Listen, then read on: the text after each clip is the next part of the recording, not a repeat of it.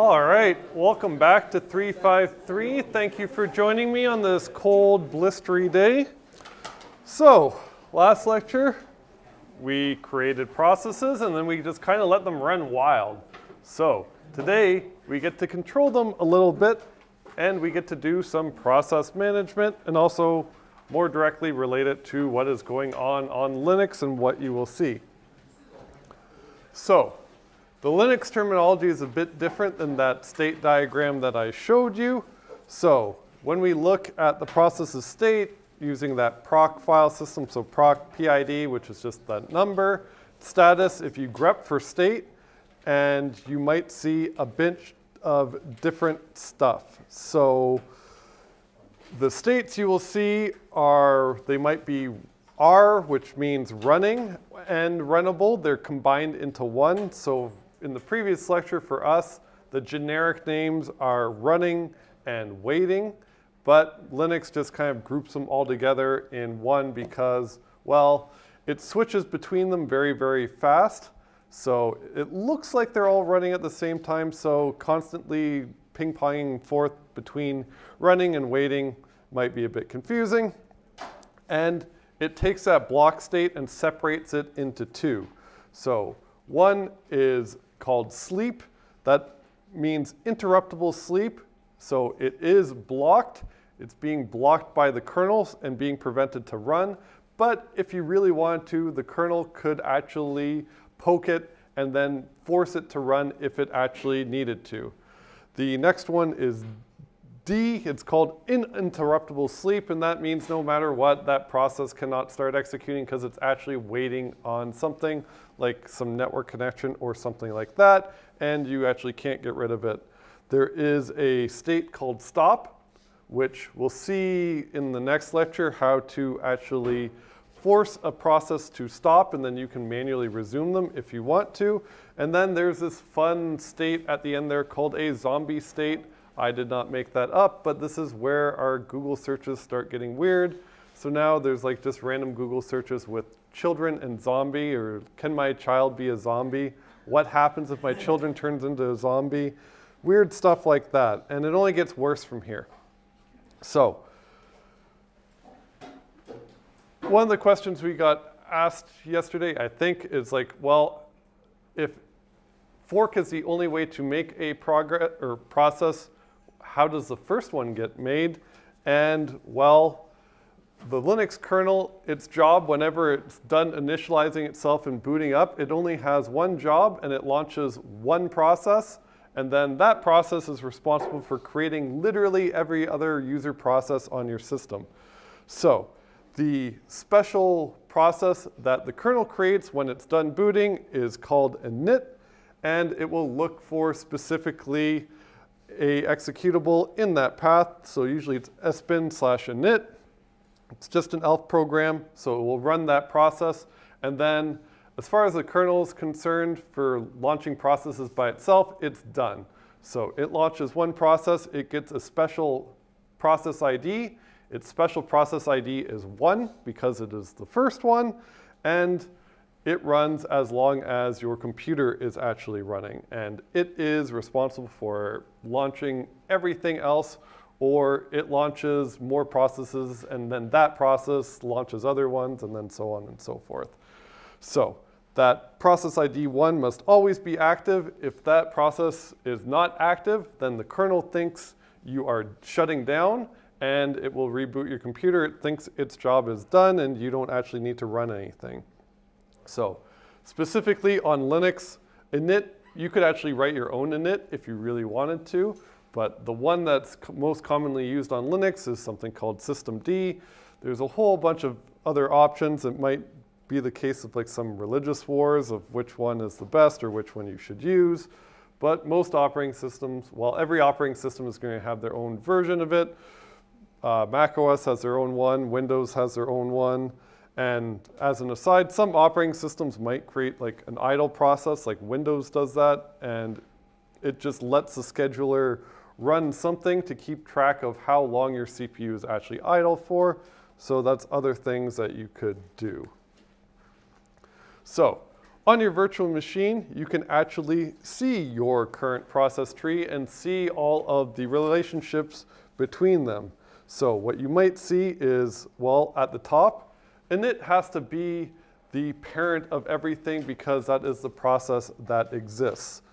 So init might launch some processes, and remember, each of these lines is like a direct parent-child relationship. So init would be the parent to something called journald, and that's just like a log manager. And then maybe it's a parent to another process called udev, and that helps you kind of uh, be able to talk to hardware. Maybe there's like a systemd version for your user, so that process is responsible for launching processes for your specific user. For like me, it would be Jon.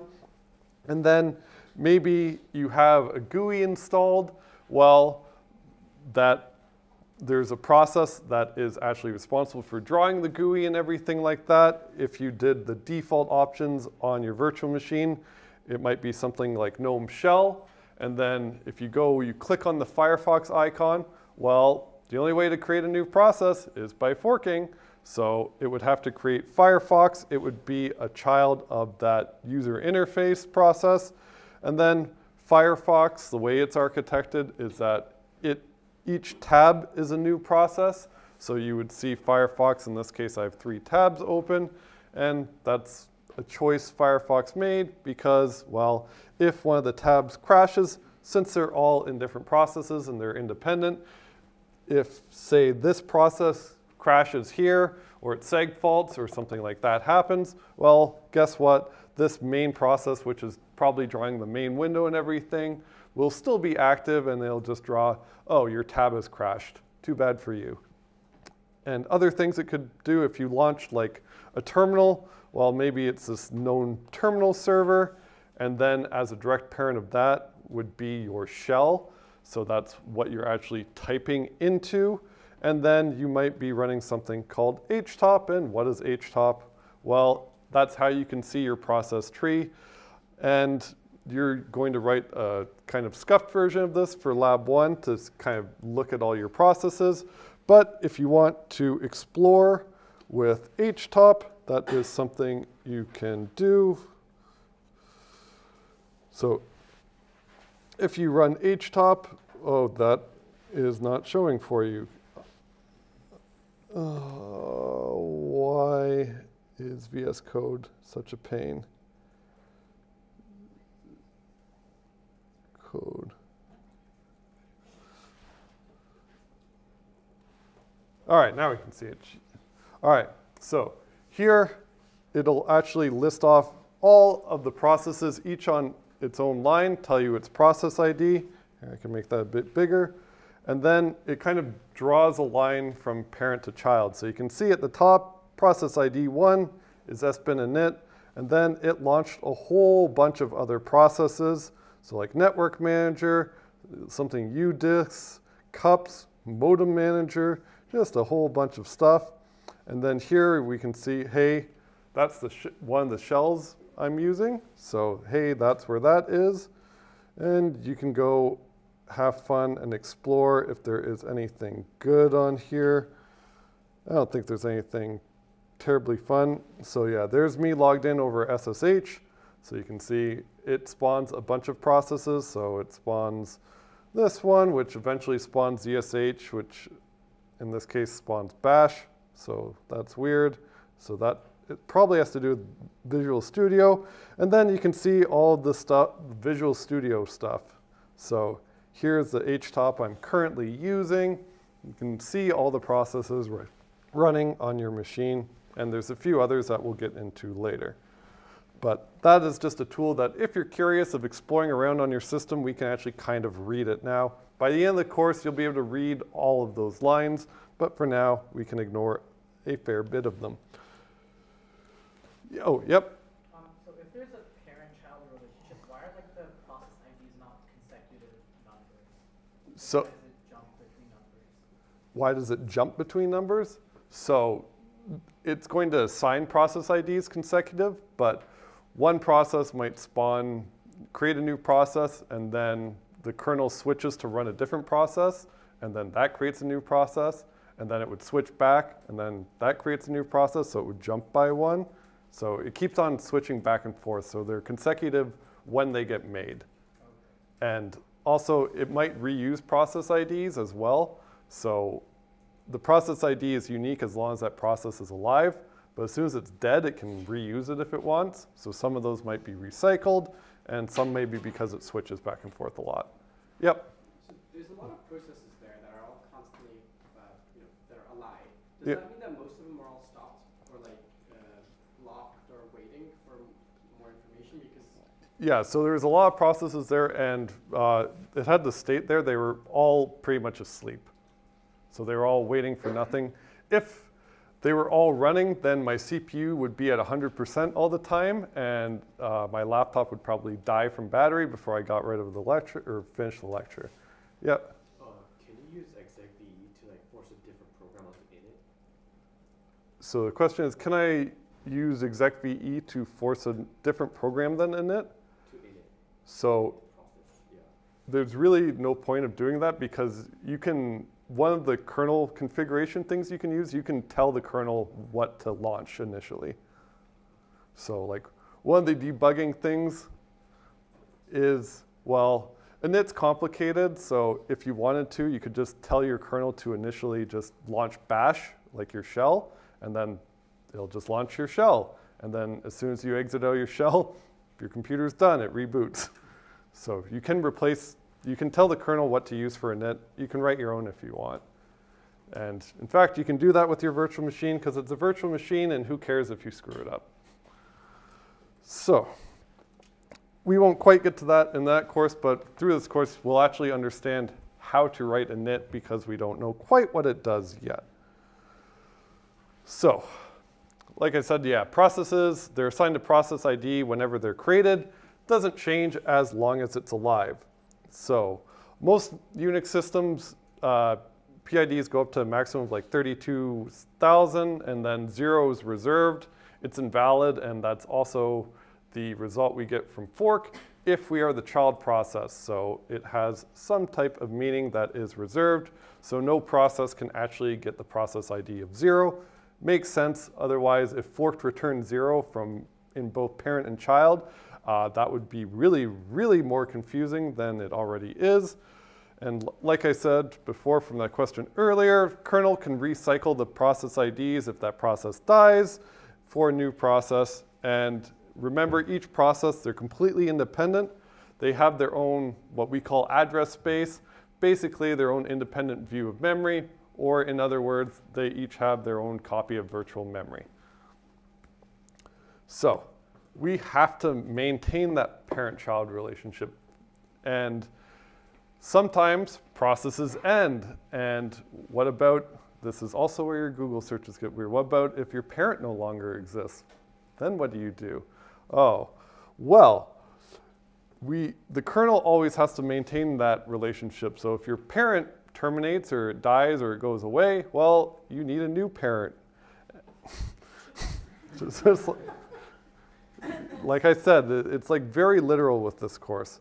So, previously, I had to sleep in there and I didn't tell you what it was for.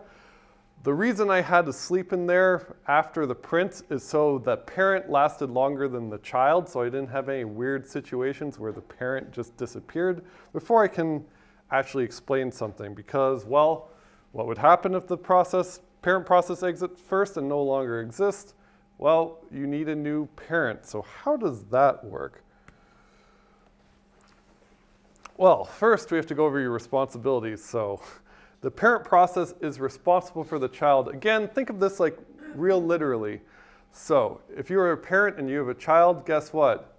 You should at least raise that child. You're responsible for it until at least they're like 18, and then they can do whatever they want. Same idea here. So your, if you create a process, you essentially are the one responsible for it. So the operating system, whenever you terminate a process and it exits, one of the things it does is save that exit status. And um, when a process terminates.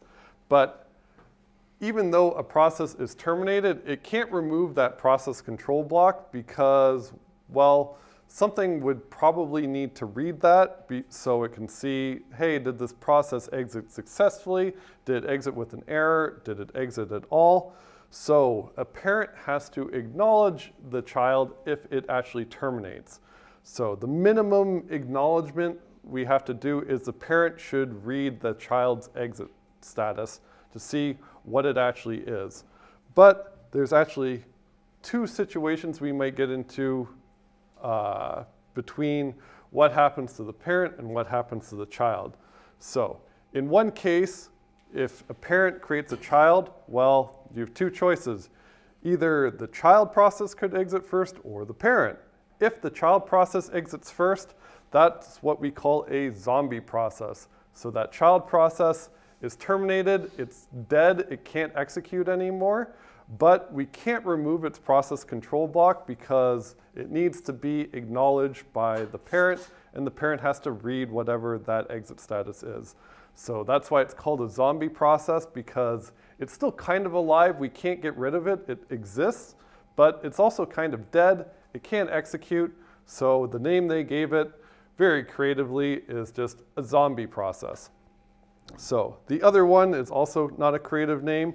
If the parent exits first and the child is still executing and still being able to run, then that uh, child process is now called an orphan process. So its parent no longer exists. So, yep, oh, yep. I was just wondering why does the parent have to read the child's exit status? Because once they are like different independent processes, they're they're independent, right? Yeah, so they're independent, but the parent should at least know when the child process is exited and like you should see, hey, did it finish successfully? Did it finish with an error? Did it finish at all? That's one of the things you need to know if you created a process. Okay. So you just need to know whether or not it terminated, and there's quite a few reasons for it too. So the operating system, right, you have to kind of acknowledge that a process has died so that you know that, I don't know, say process 100 died, and you want to make sure you, there is no situation where process 100 just gets randomly replaced by another process that happens to have the same ID. So if you acknowledge it, you say, okay, the process 100 I knew about is dead. I acknowledge it, and then the operating system can go ahead and delete that process ID 100, and then it can reuse it. And then you don't think the new process 100 is your child. Yep. Can you reiterate why we can't delete a zombie process or like kill a zombie, kill a child if it exits first? So if the child exits first, that means we haven't acknowledged it yet. We'll see an example too of why it's a zombie process. But it's, we just need to acknowledge that it has terminated. And before we actually acknowledge it, it's just called a zombie process because the kernel can't get rid of it yet. All right. So yeah, I said acknowledge kind of in a general term. So the actual system call to acknowledge is called wait. So that is what being a good responsible parent process is all about on Unix systems is you need to call wait on it. So wait has the following API.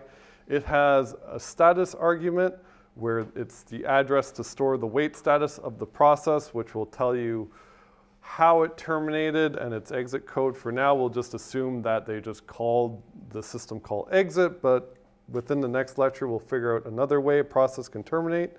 And what it does is it returns the process ID of the child process. So like all the C wrapper system calls, negative one means it failed. We'll return zero for a non-blocking call. We'll see in the next lecture. That basically means that it will return immediately and then tell you whether or not your child is still alive, not morbid at all. And then if it returns a value greater than zero, that is the process ID of the child that has actually terminated and you can now read its status. So that wait status, that status variable contains a bunch of information, including the exit code. You can use man wait to figure out how to query it. We'll see some examples, and that's probably the easiest way to do that. If you want to wait on a specific process, there is a system called called wait PID that we will use in our lab, and then you can wait on a specific one. And then, oh, whoops, I saw a question Discord. Do grandparents inherit orphan processes? Um, the answer to that is they can. We'll see what actually happens in an example. It's more fun just to figure it out. So here is a wait example. So let's look at this pro program and argue about it. So everyone can see it okay in the back-ish. All right, this projector, not the greatest, but I guess we'll do. Here, I'll make it one bigger just in case. So first thing we do is fork. And then remember, after the fork, we have two processes now. Only difference is the value of, the return value of fork. So if fork, quick recap, if fork returns zero, which process am I, the parent or the child? Child, right? And in the parent, what gets returned from fork? Yeah, the process ID of the child. So here I check that I don't have an error. If I have an error, well, we found out when we can have an error from fork is when we fork bomb, ourselves. So if we didn't do that, hopefully we won't have an error. Then here, if PID equals zero, so this will only be executed in the child process. So all it does is sleep for two seconds, and then that child process would then return zero, which is the same as exit. So basically the child process just goes to sleep for two seconds and then exits. So it should last exactly, well, about two seconds. The fun case is what happens in the parent. So the parent process, it will print out that is calling wait. It will create this int for that wait status in order to capture that value. And then it will do the system call wait and then give it the address of that wait status so that system call can go ahead and write a value to that variable. Then we capture the return value in wait PID. And for now, we don't even check for errors. We don't do anything. We assume we just have an if statement here that this is one of the macros you can use. So one of the bits in that wait st status variable will tell you whether or not that process has called exit or if it terminated in some other way. Right now, we just know that it can call exit, so we'll just, if it doesn't, we'll just return some error code. Each child is like some error code that something bad happened to your child. If it has exited, well, we're going to say wait return for a process. We're going to print out the process ID that we actually waited on. So it should be that our child that terminated, and then its status, which is going to hopefully be whatever it returned from main.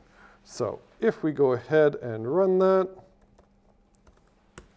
should see calling wait, and wait is what we call blocking system call. So wait won't actually return until our, our child has terminated. So because our child took two seconds, it will wait for two seconds. And then after it's done, it will say wait, return for process ID. That long, oh, yeah, so that number is so high because of you, so thanks for fork bombing me.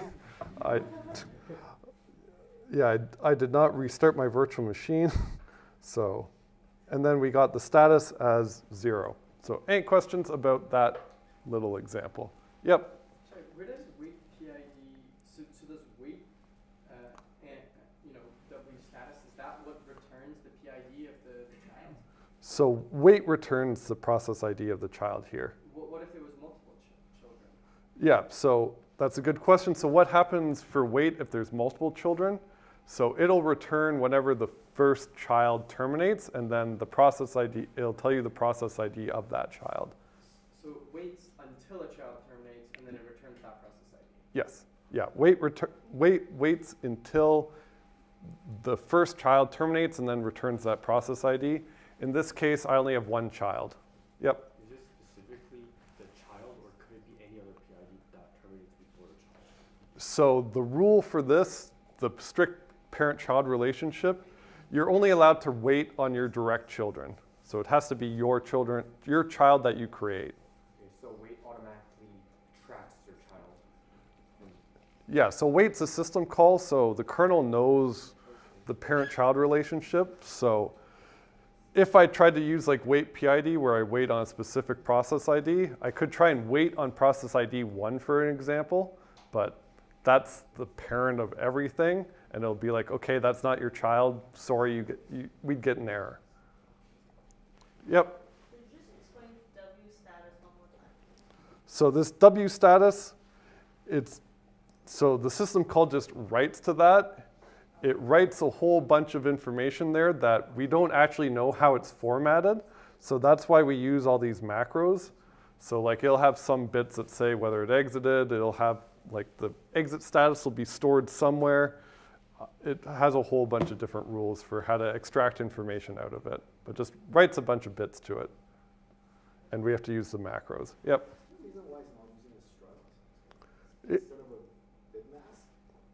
Yeah, question is why is it using a, just an int instead of a struct or something like that? They can get away with it. Ints are easier than structs.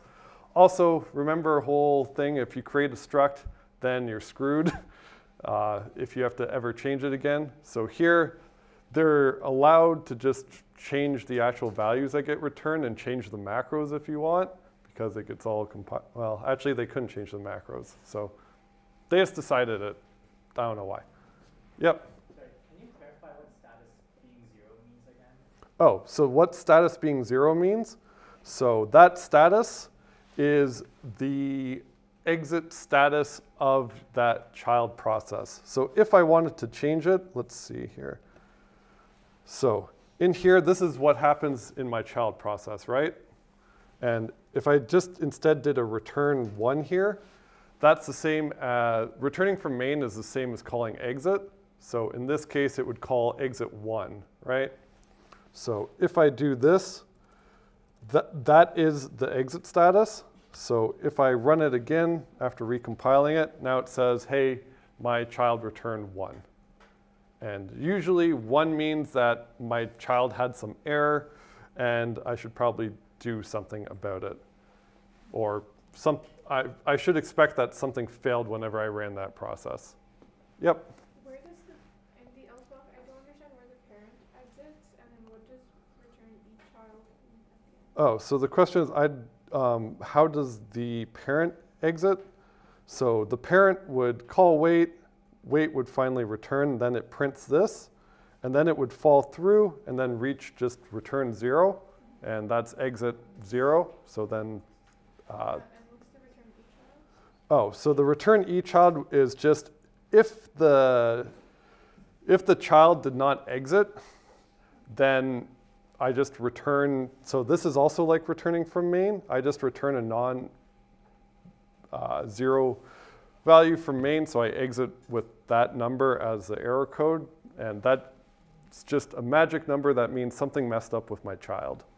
So it's just yeah, some magic number that it's an error code that means something.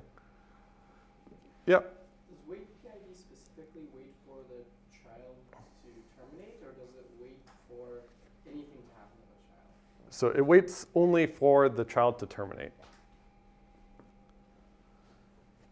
What, what if we were waiting for another specific status? So what if we were waiting for, for example, the child to be ready to transfer data? So if you want to wait for the process to be ready to transfer data, that's another system call. Wait, wait is only for waiting for it to terminate. Uh, question, once a process returns a value, does it get terminated immediately? So a process gets terminated whenever it calls exit. So if it calls exit, then it's terminated and whatever value it gives to exit, that's the exit status that gets set.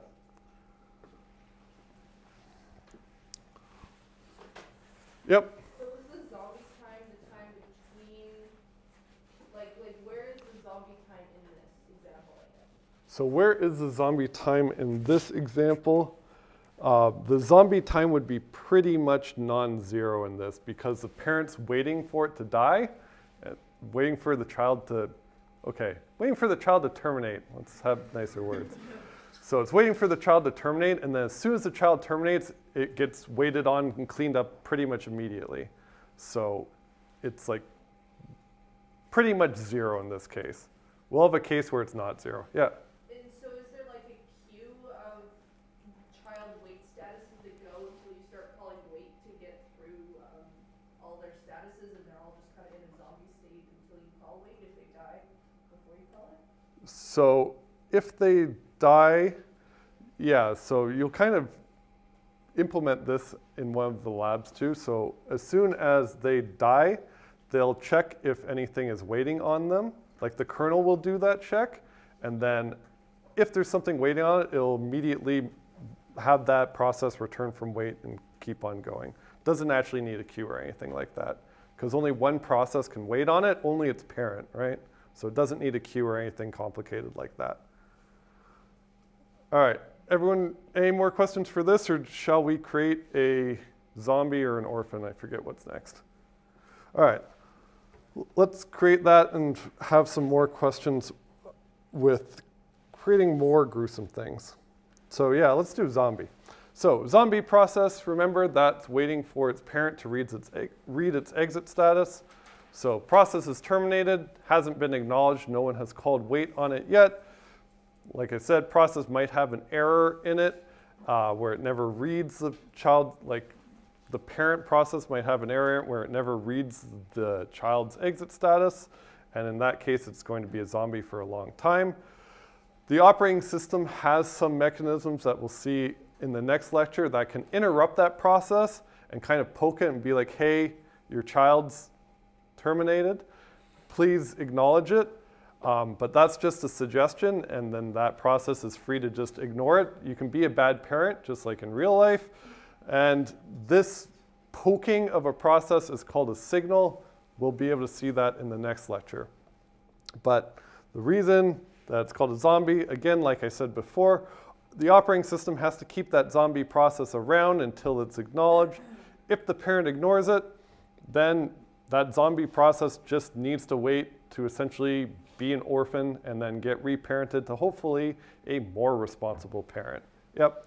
Why, why do we ha- why do they have to keep the process around if the only thing that's going to get returned is the exit status? Why not only keep the exit status or whatever other relevant information is left? Yeah, so it can only keep the exit status and the process ID. That's fine, it can clean up everything else.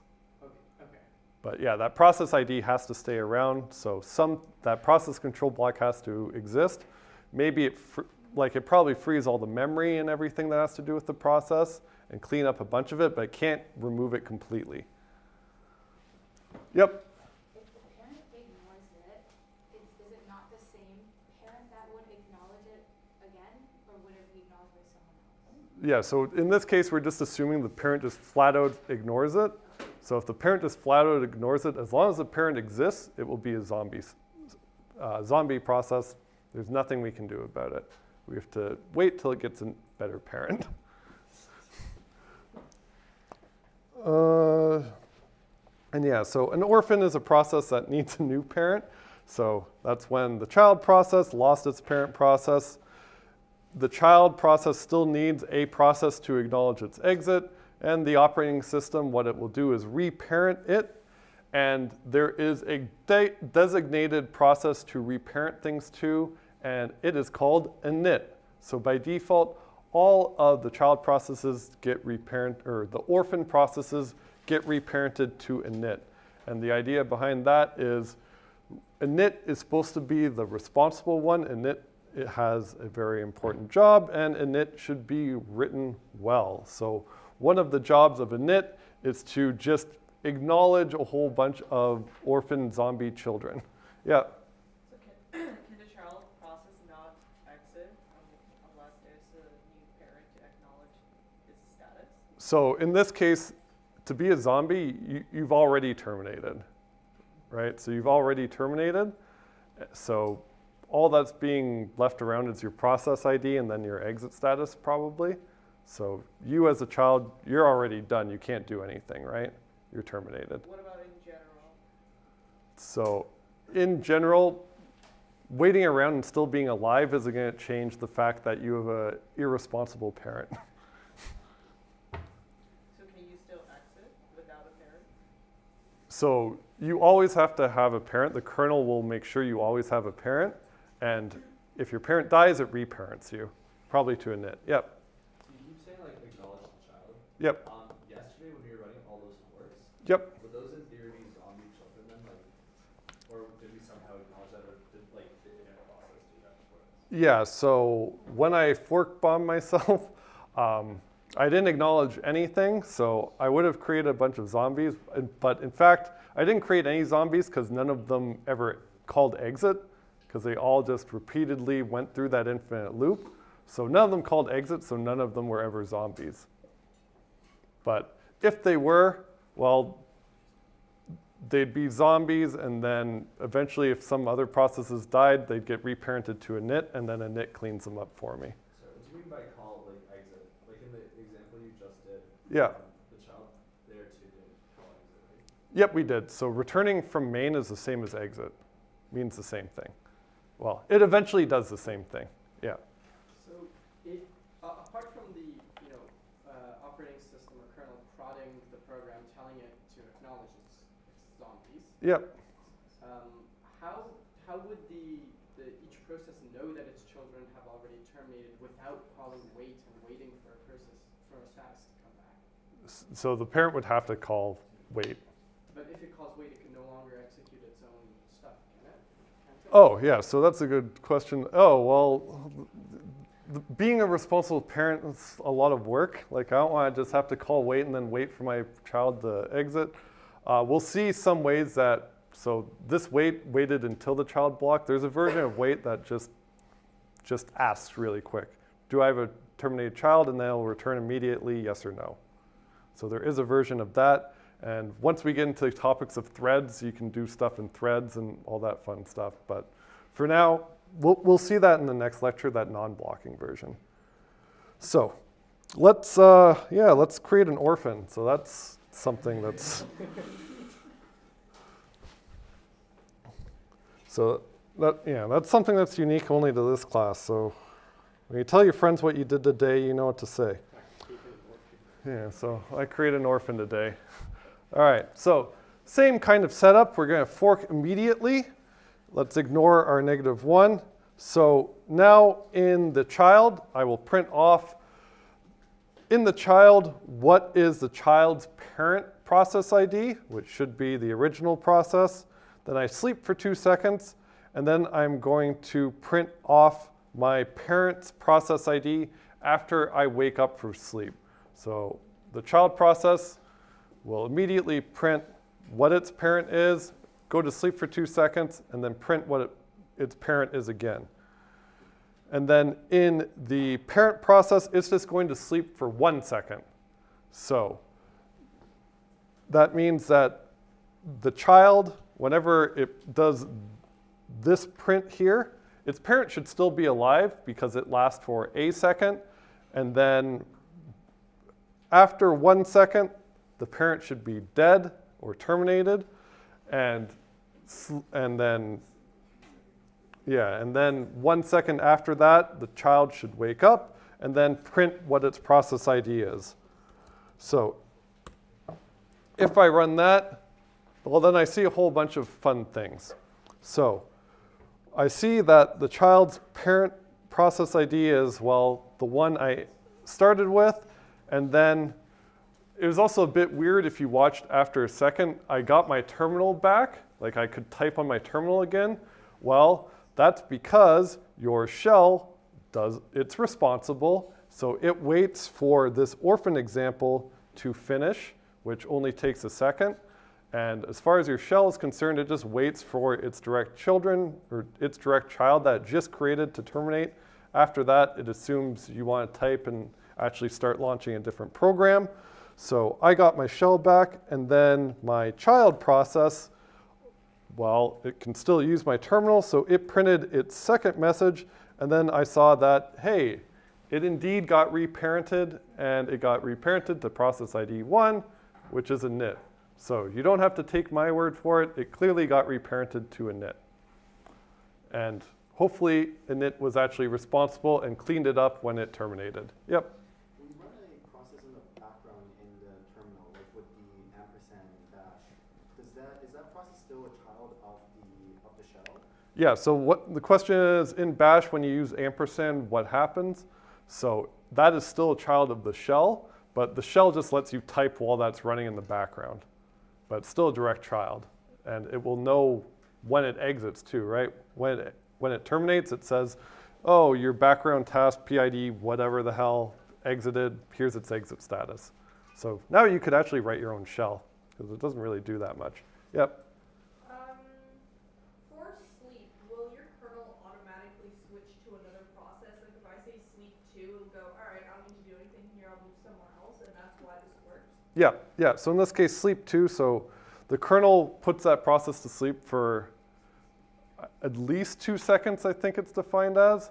So it gets into that kind of block state where it just kind of runs, or it just, the kernel can schedule something else to run. Yep. If the, the you put the parent to sleep for one second, but what if you put it for like five seconds and you left that to then would this uh, parent IDs be the same? Yep. So if I change this to be three, so the parent lasts longer than the child, then in this case, I should see the same process ID both times, right? Because the parent is still alive. It doesn't have to get reparented, so we can just check that real quick. So parent process ID is that. After sleep, wakes up. So in that case, the parent lasts longer than the child, in which case I would have made an orphan for, or I made, sorry, I would have made a zombie for a second, right? Because it's sitting around. Is that, no. I- i- If an individual was to be malicious, for example, would, could they use this to create like a, a hidden process? Because that process, all the process they could create would be parented by init. uh, like being having init as your parent doesn't give you any special powers or anything. But for example, if shell was to close, Yep. then it would, would it kill all of its children normally, or? So there are options for the shell. So if the shell closes, one option you can have is have your processes reparented to init automatically, and sometimes you want that. Like you just log in, you want to launch a process that runs for a long time. Maybe it's doing something important, and you log out your shell. You don't want it to die. So that's one thing you can actually do. So your shell will let you do that. I forget what the default is. Yep. Had both subclasses if we shift statements um, sleep for the same amount of time, would the parent and child die simultaneously? So yeah, if I have them at the, sleep for the same amount of time, essentially it's just going to be random then. Like I, I don't like the one second is just a suggestion, so I'll, it'll be close. It'll probably be more or less random. All right. Yep. Uh, uh, just a probably unrelated question. What's the CID?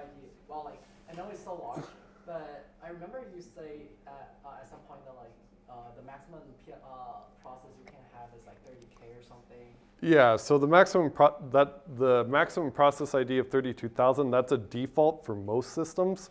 For mine, it's bigger. Oh. because uh, I think for you it's bigger. I think they changed the defaults, but I might have changed this too because I know what you guys do. but it's a configurable thing. You can just set it to whatever you want. Yep. Does shell just mean terminal? No, so there's a slight difference. So the terminal, like, I- is actually drawing this stuff to the screen, like drawing all the characters and everything. The shell is actually taking the characters you, like the keyboard presses you write, and then starting more programs and everything like that. So it doesn't have to draw a user interface or anything. So you could actually write your own shell if you wanted to. Like, it just kind of, the shell is just like reading in this string, and then, well, it reads in that string, and then it creates a process out of that. So the shell would fork itself and then exec that. So what does it mean by the shell die? Or close the shell? So close the shell is like when I log out of this shell, like if I hit Control D or something and actually log out or close this terminal. If I close this terminal, it will then close the shell because it's a direct parent or a direct child of it. So I can kill both of them at once. But there's a slight difference to it. Basically, a terminal draws the user interface and deals with key, like the actual physical keyboard inputs, and the shell just reads like bytes. All right, let's create a zombie. so, same type of example. So we immediately fork, and then in the child, we go to sleep for two seconds. So now in the parent, I go to sleep for one second, and I wrote some code that will go into that proc file system and actually read the state of the child to see what its actual state is. So after one second, it should still be alive, probably sleeping because it's supposed to be sleeping for two seconds. And I'm looking at its status after one second. And then after I check, I sleep for two more seconds. So that's a total of three seconds. I should have been running at this point. So my child should be dead. So it's dead after two. So I print the child process state again, and then both of them eventually terminate. So if I run this, I'll see that in my parent, child process state is sleeping because it's still alive. And then after it, it's a zombie, which is an actual state name in Linux, because that was just read from the proc file system. I didn't name it myself. So terminology is not my fault. so any questions about the zombie? Yep. So if you call wait after the second print state, what is the return? After the second one? Yeah. So uh, if I just call wait here, you know, wait null, whatever, I have to define, yeah, undeclared. What? Oh, is- you wait for the child. I- Yeah, so here, whoops, that is code you shouldn't look.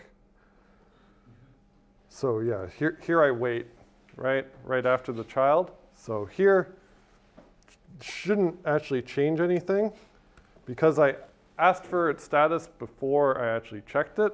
So I wait after it's a zombie. So here, sleep, two seconds later it's a zombie. So it's still a zombie, and then I call wait on it, and then it would be completely removed from everything after that point. So after the wait. So if I went ahead and, here, let's move this. Say I called print state on it again after waiting on it. Well, then that process doesn't exist because after wait, it just cleans up everything, right? Oh, So now if I do this, I actually have never done this before, so let's hope it's okay. So sleeping, and then, yeah, and then zombie, and then I actually don't have, like I just wrote that myself, so if it didn't find the directory, usually students were just running on Mac OS, which proc doesn't exist, so that's why I have that error message. So this unknown Mac OS question mark actually just means it couldn't find it because that proc entry would be removed because I called wait on it, it's cleaned up and everything. So yeah, probably should change that error message as assuming that you actually use Linux. All right, any other questions about that? Yep. Sorry, print state is, did you write that yourself or is that a built-in thing? Print state I wrote. Yeah. And for lab one, whenever you're starting to like, you're going to be looking at that file and then returning like the name of it. So if you want, you can look at my function for inspiration if you want. So print state is actually going, you're going to print the name. So print state is actually more complicated than what you'll have to do. So if you want to look for inspiration, go ahead. Yep. So tomorrow's lab is just for lab zero help, right? Yeah, yeah. So for tomorrow for the practical session, T's are just there to help you only for lab zero. So if your VM had some problem setting up or anything like that, you can go to that. And if you're already set up and you did your Crowdmark and you did all that stuff, then you're good. You don't have to go to the labs. Labs are mostly for help. They're the same day that labs are due. So pretty much last minute, oh, help me. All right. So with that, just remember, pulling for you. We're on this together.